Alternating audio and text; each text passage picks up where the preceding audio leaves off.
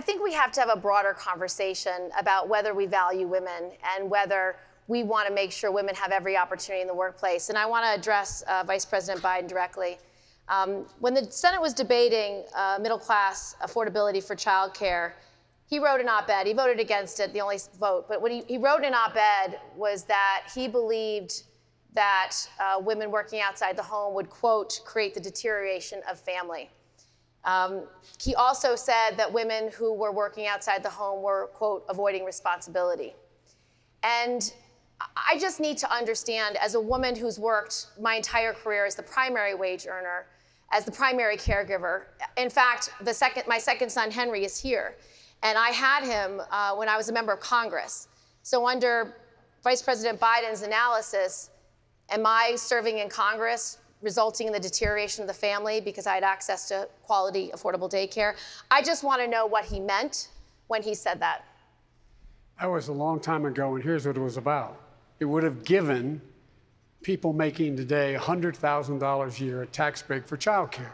I did not want that. I wanted the child care to go to people making less than $100,000, and that's what it was about. As a single father, who in fact raised three children for five years by myself, I have some idea what it cost.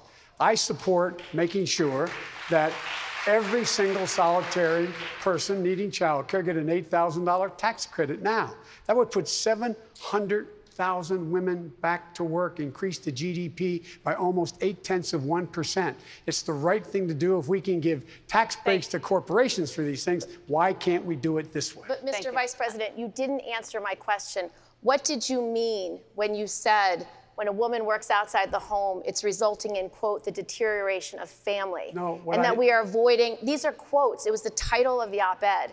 No. And that just causes concern for me because we know America's women are working. Four out of 10 moms have to work. They are the primary or sole wage earners. They actually have to put food on the table.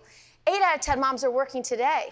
Most women have to work to provide for their kids. Many women want to be working to provide for their communities you, and Senator. to help people. Let so the Vice President either you don't believe you. it today or what did you mean when you said it In then? the very beginning, my deceased wife worked, but we had children. My present wife has worked all the way through raising our children.